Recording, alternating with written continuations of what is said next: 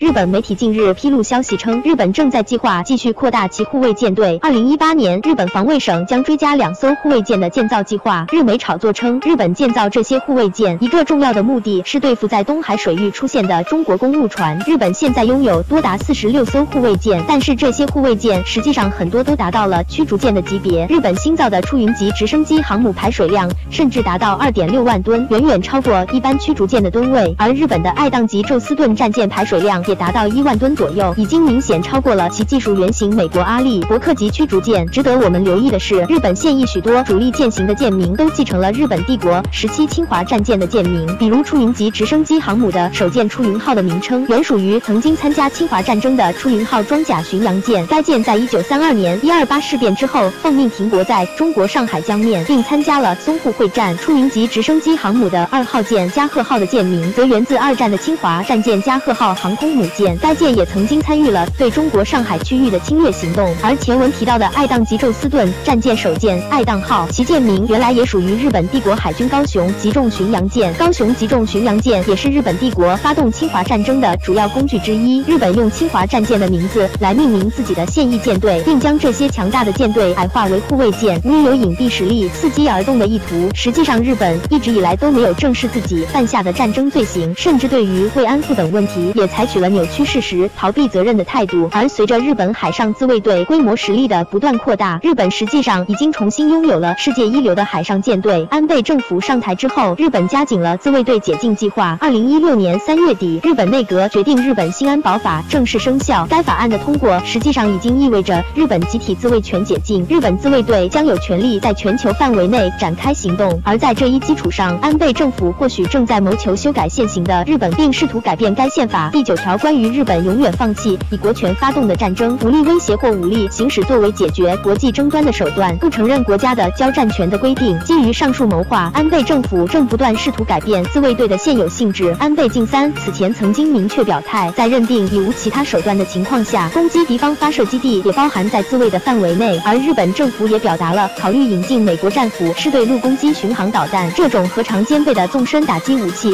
可以威胁两千公里范围大陆腹地。如果日本能够成功引进，则意味着自卫队将彻底改变没有对陆进攻能力的现状，也标志着可以全球行动的自卫队将具备入侵能力。由此可见，蠢蠢欲动的安倍政府正在想尽一切办法复活日本帝国的舰队，重启日本的战争机器。而日媒对日本海自舰队的大肆炒作，恰恰反映了日本针对中国的真实意图。事实上，日本一直以来也没有否认自己遏制中国的想法。安倍晋三曾经多次在公开场合发表关于中国的种种言论，甚至还试图拉拢美。美国、印度等军事大国对中国进行围堵，其言行举止已经是司马昭之心，路人皆知，不必多评。中国是热爱和平的国家，尽管日本在历史上曾经犯下严重罪行，但只要肯于正视历史，承认错误，我们也可以不予计较。但是日本拒不承认历史，而且还摆出一副扩军备战、磨刀霍霍的态度，这种行为的确令人无法接受。和平的发展环境需要大家一起维护，同时中国也有足够的实力来维护自己的和平发展条件。日本的小算盘和小动作。中国看得很清楚，有道是“多行不义必自毙”。如果日本不愿意珍惜来之不易的和平成果，那么日本就必将为自己的错误行为付出代价。